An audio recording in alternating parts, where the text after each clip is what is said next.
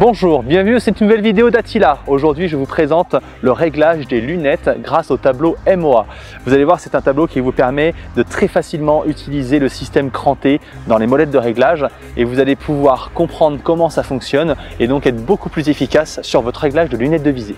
Comme vous le voyez ici, j'ai une cible qui est posée très précisément à 25 mètres, c'est-à-dire qu'on a pris la distance entre le début de l'arbalète et la face de la cible. On va donc passer directement au tir. Je vais tirer un premier trait dans la cible et on va voir à quel endroit il se positionne. On va prendre les mesures et on va pouvoir en faire ensuite les calculs qui vont nous permettre la correction de la lunette de visée.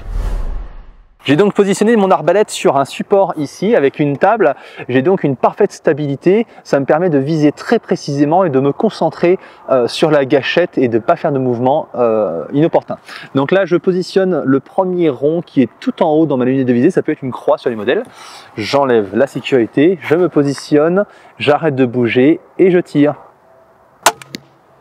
Voilà, j'ai visé le plein centre de la cible et pourtant mon trait est atterri en bas sur la gauche. Donc par rapport au centre, la dérive est ici depuis le centre de 6,5 cm et par rapport au centre, l'élévation est ici, on est à 14,3 nous allons maintenant passer au réglage des deux molettes.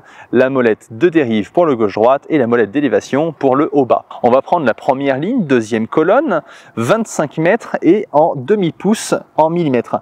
Donc on va diviser 65 mm par 3,636, ça nous donne 17,87. On va l'arrondir au supérieur, ça fait 18. On va faire 18 clics. Donc comme notre flèche est trop à gauche du centre, on veut se rapprocher du centre, on va donc aller vers la droite. Là, si le L veut dire left, vers la droite, on va donc aller en clic vers la gauche. Donc là, je pars 18 clics en sens anti-horaire. 1, 2, 3, 4, 5, 6, 7, 8, 9, 10, 11, 12, 13, 14, 15, 16, 17, 18. Ensuite, je reprends toujours le tableau. On a donc 143 mm, puisqu'on avait 14,3 cm trop bas, divisé par 3,636. Ça nous donne donc la valeur de 39,32. On va l'arrondir à l'inférieur, ça nous fait 39 clics. Comme on est trop bas, qu'on veut remonter vers le centre, on va donc aller dans le sens up, c'est-à-dire le sens anti-horaire.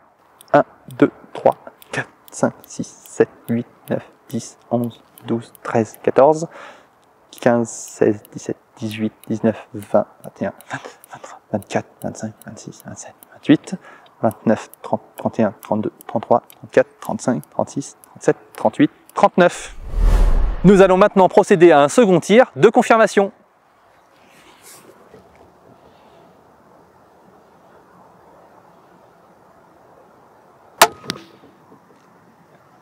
Et voilà, en plein centre. Bon voilà, on est pas mal dans le centre, on pourrait ajuster encore éventuellement euh, d'un clic ou deux, puisqu'un clic c'est 3 mm, donc on pourrait encore ajuster un petit peu, mais là franchement c'est pas mal. Cette vidéo est maintenant terminée, j'espère qu'elle vous a plu. N'hésitez pas à commencer vos réglages à 10 mètres, 20 mètres, 30 mètres pour éviter d'avoir des flèches perdues. Si vous avez des questions, posez-les en commentaire ou directement sur notre site internet.